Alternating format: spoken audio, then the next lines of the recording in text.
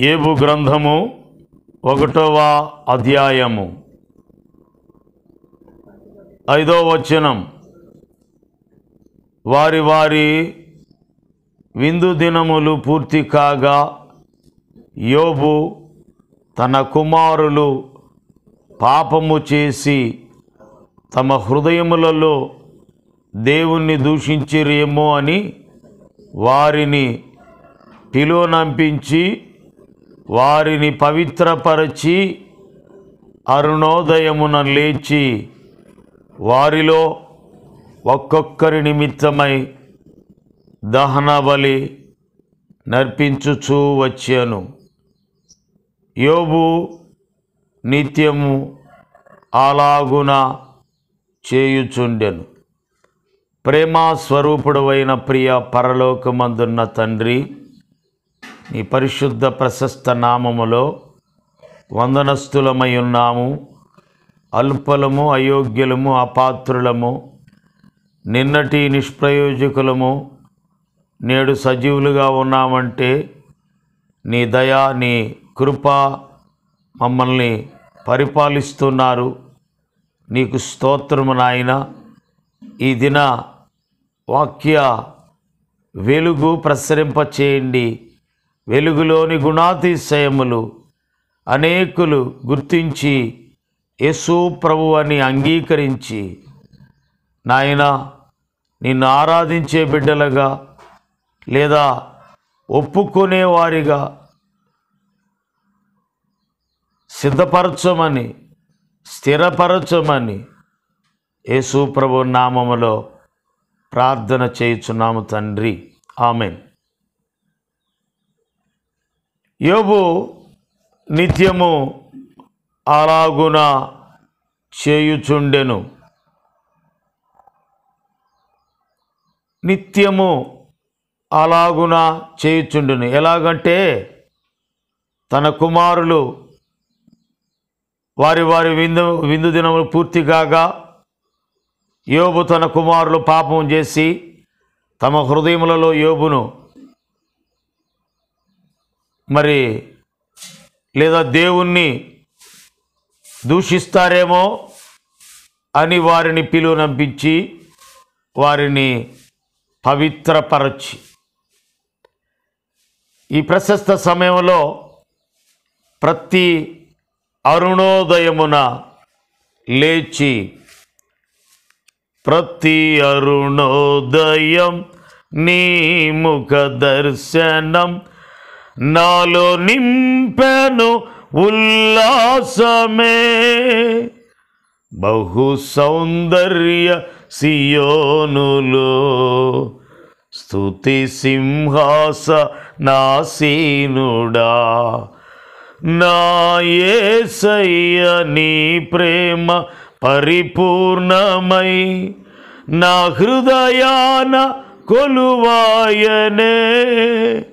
నన్ను జీవింపచేసి నీ వాక్యమే నాకు ఇలలోన సంతోషమే. ప్రతి అరుణోదయమున నీ ముఖ దర్శనం. అరుణోదయమున లేచి వారిలో ఒక్కొక్కరి నిమిత్తమై దహన బలి అర్పించుచూ వచ్చాను. అలాగైతే మన ప్రభు అయిన యేసుక్రీస్తు ఒకటవ అధ్యాయం మార్క్స్ వార్త ముప్పై ఐదో వచ్చాను. ఆయన పెందల కడనే లేచి ఇంకను చాలా చీకటి ఉండగానే బయలుదేరి అరణ్య ప్రదేశమునకు వెళ్ళి అక్కడ ప్రార్థన చేయుచుండెను. సిమోనును అతనితో కూడా వారును ఆయనను వెతుకుచు వెళ్ళి ఆయనను కనుగొని అందరూ నిన్ను వెతుకుచున్నారని ఆయనతో చెప్పగా యోబు తన కుమారుల నిమిత్తమై ఒక్కొక్కరి నిమిత్తమై బలి అర్పించుచు మరి ప్రతి అరుణోదయం వారిని పవిత్రపరిచి మరి వారి విషయమై అరుణోదయమును లేచి వారిలో ఒక్కొక్కరి నిమిత్తమై దహన బలి నర్పించుచూ వచ్చాను. యోబు నిత్యము అలాగు చేయుచుండెను. యేసుప్రభు కూడా ఆయన పెందలకను లేచి ఇంకను చాలా చీకటి ఉండగానే బయలుదేరి అరణ్య ప్రదేశంకి వెళ్ళి అక్కడ ప్రార్థన చేయుచుండు. యోగు నిత్యము అలాగు చేయుచుండును. యేసుక్రీస్తు ప్రార్థన చేయుచుండెను. శిష్యులున్నారు. వారిని ప్రత్యేకపరిచి ఈయన పెందలకని లేచి ప్రార్థన చేస్తున్నాడు. ఏబు కుమారులు ఉన్నారు వారి వారి విందు దినములు పూర్తిగాక వారి విషయమై ఒక్కొక్కరి నిమిత్తమై బలి నర్పించుచు మరి వారిని పవిత్రపరిచి ఏబు నిత్యము అలాగున చేయుచుండెను. ప్రార్థన. కనుక దేవు ప్రార్థన చేస్తున్నాడు. యేసుప్రవారు ప్రార్థన చేస్తున్నాడు. ప్రపంచంలో ఒక పాపి నశించి నరకానికి వెళ్ళకూడదని యేసుప్రవారు ప్రతి ఒక్కరి నిమిత్తమై భారం కలిగి ప్రార్థన చేస్తున్నాడు. శిష్యులను గురించి ప్రార్థన చేస్తున్నాడు.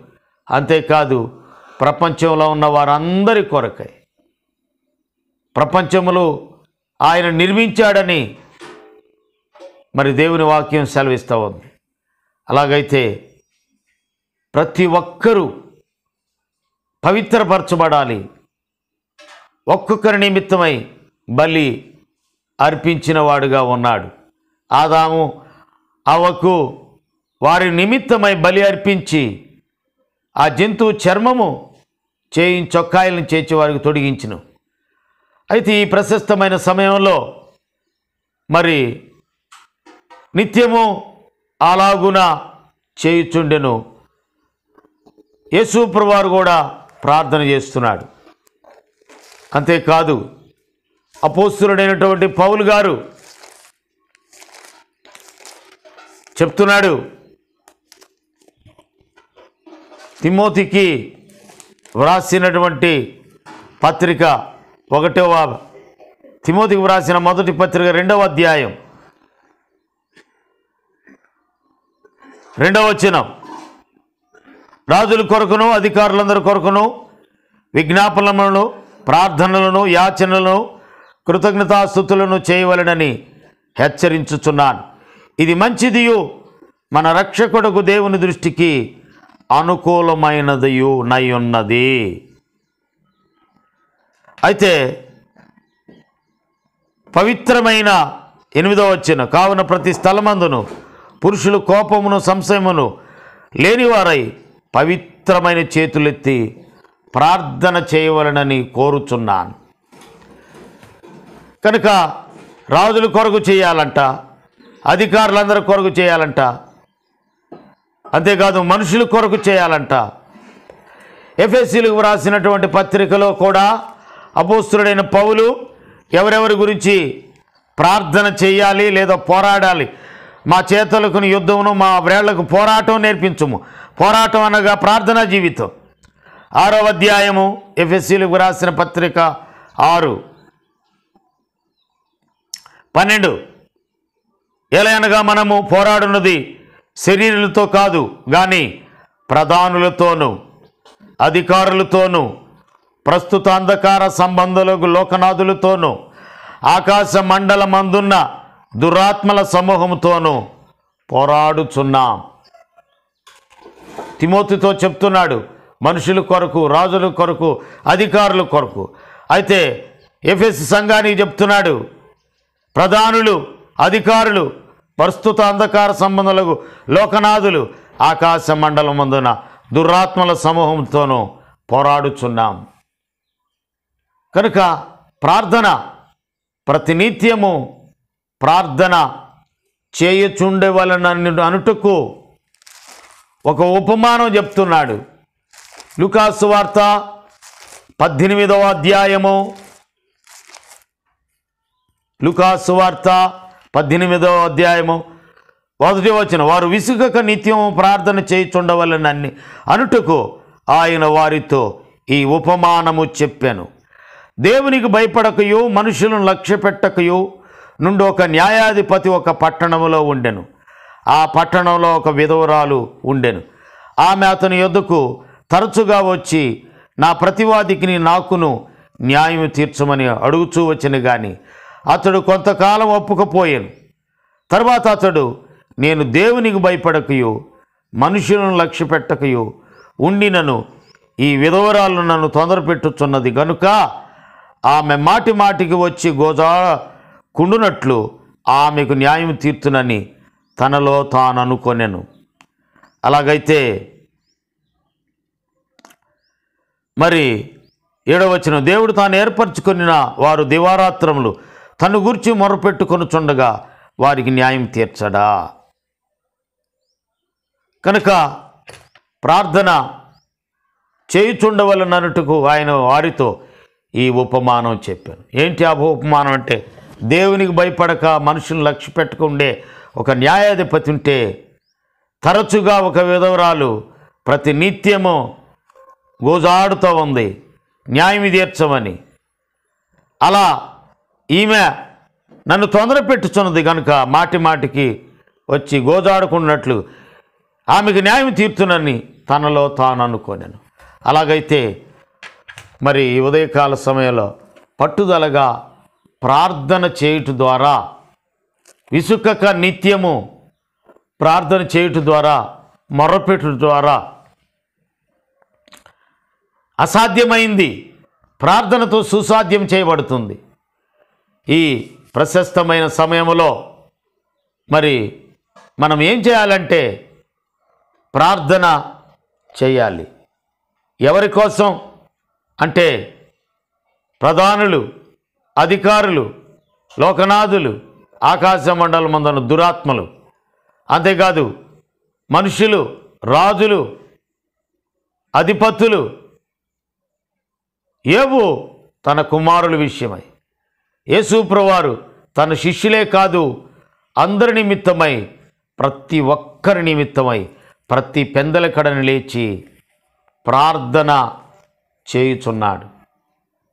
కనుక ప్రార్థన చేయటము అది ఒక ముఖ్య ఉద్దేశ్యం. ప్రార్థన అనగా దేవుణ్ణి అడగటం. కనుక దేవుణ్ణి అడిగి సులోమాను అత్యధికంగా మరి అడిగినంతకంటే అత్యధికంగా సులోమాను జ్ఞానం జ్ఞానంతో పాటు ఐశ్వర్యాన్ని కూడా దేవుడిచ్చాడు. ఈ ప్రశస్తమైన సమయంలో కావున ప్రభునామమున ఎవరైతే ప్రార్థన చేయుదురో వారు రక్షించబడుదురు. ప్రభునామమున ప్రార్థన చేయవాడెవడో వాడు రక్షింపబడు అలాగైతే నోటితో పాపములు ఒప్పుకొని హృదయములో విశ్వసించుట ద్వారా రక్షించబడతారు.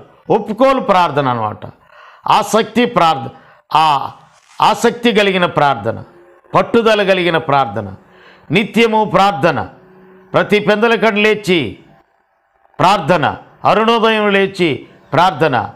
ఈ ప్రార్థన ఒక పాపిని మార్చుచున్నది. ఒక పాపి రక్షించబడతాడు. పాపులు రక్షించబడతారు.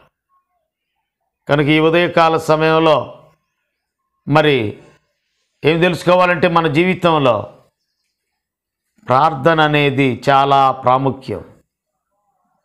ప్రార్థన శక్తి మాకు కావాలయా పరలోక అభిషేకం కావాలయా కావాలయా కనుక ప్రభు సన్నిధి కావాలని ప్రభు సన్నిధిలో కనబడి ప్రభు ద్వారా మేలు పొందాలని ప్రేమతో మనవి చేస్తూ ఈ వాక్యాన్ని ముగిస్తూ ఉన్నాను.